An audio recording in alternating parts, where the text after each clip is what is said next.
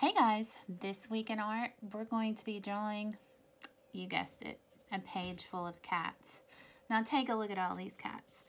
They all look a little bit different, don't they? They've all got different facial expressions, but one of them looks more different than any of the rest of them. And that one, that's kind of obvious, right? It's this pink cat. Now, when you look at this artwork, and your eye kind of goes to that cat first, looks at that cat first because it's different than all the rest of them. So that is what we call focal point. So we are going to be working on emphasis, which means focal point. It's one of our principles of design. And another principle of design, which is contrast. Contrast is something we have to use in order to create a focal point in our artwork. Contrast just means when things are different from each other. For example, something big and something small, warm or cool, or black and white. So when you look at this, where does your eye go first? Obviously goes to the black, right? Because it's the only black circle on the page. Everything else is white. So it's the focal point. And the way we've created that focal point is using two contrasts of black and white. On this one, our focal point was created by using color contrast. This one has color, a bright color, and the only color that these cats have are the colors that um, are part of the back of the background. So what we're going to do today is um, continue watching the video. I want you to follow along and you might want to get your pencil, marker, and get you something round to trace with. We're going to be filling up our page with some circles so we can do some cartoon-like cats.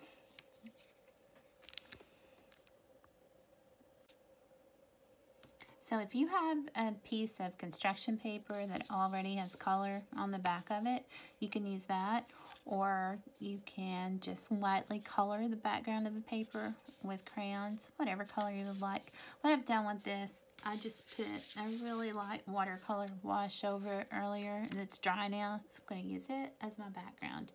So hopefully you have something brown to trace with. So what I'm going to do is just go around my paper and fill it up with, I don't know, I would say maybe 10 or 11 circles.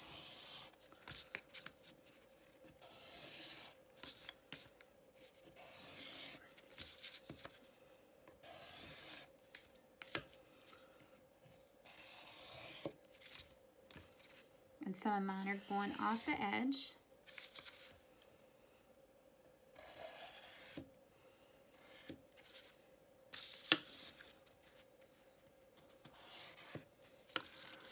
So I've got 10. So what I'm going to do is just go ahead and put some uh, facial features in. I'm going to do some eyes, nose, and some whiskers.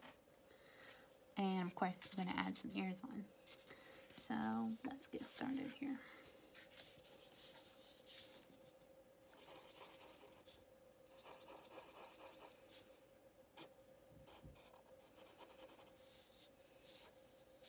And remember, we're just going to try our best. We don't have to be perfect.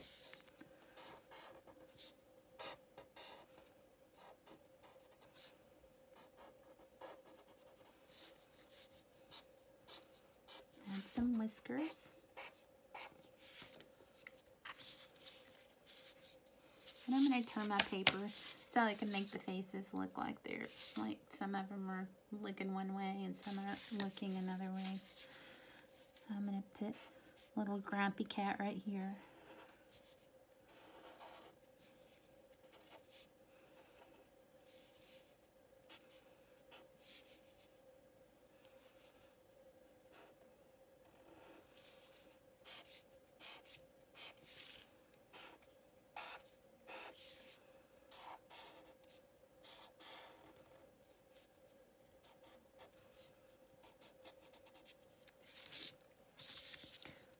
And in contrast, I'm to put Happy Cat right here.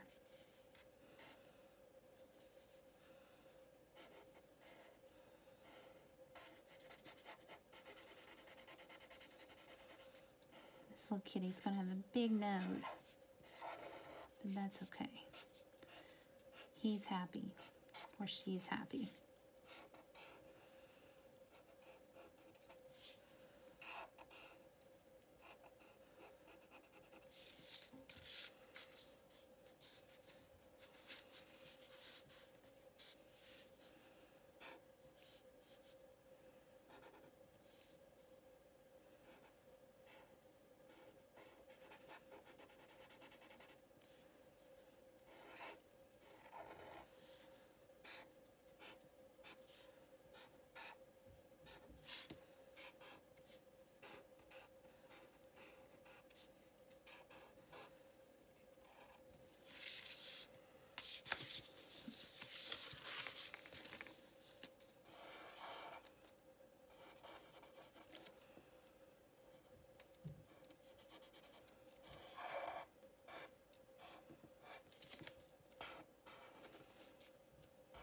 Since this one is just showing half its face, obviously I'm just going to put one eye and one ear.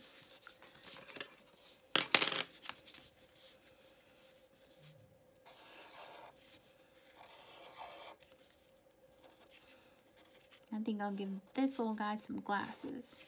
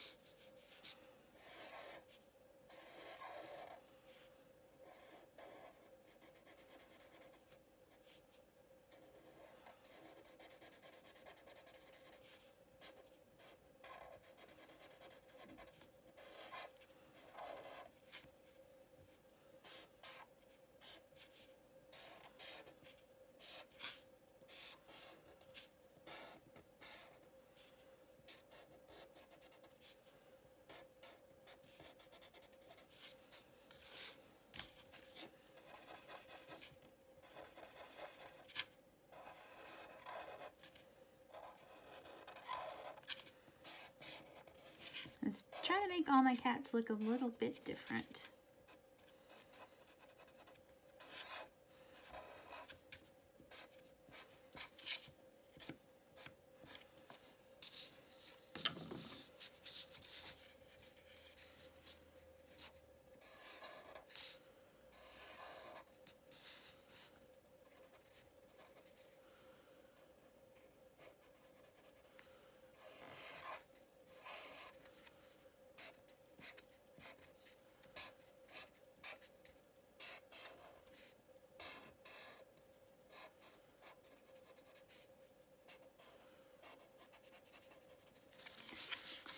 Okay, so now I've got facial expressions on my 10 cats, and I want to make one of my cats stand out. So, what am I going to do?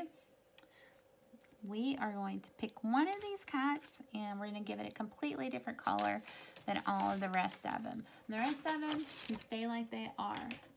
So, I think I'm going to,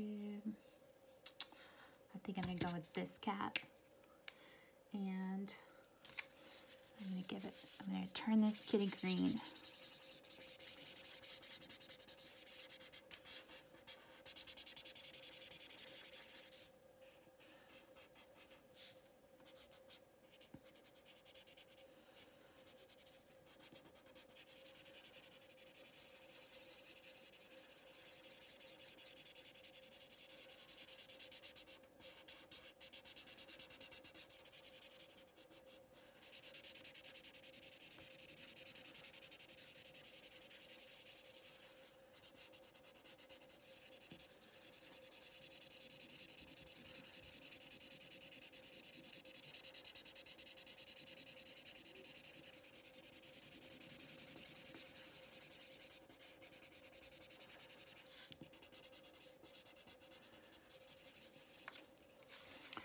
So there you have it.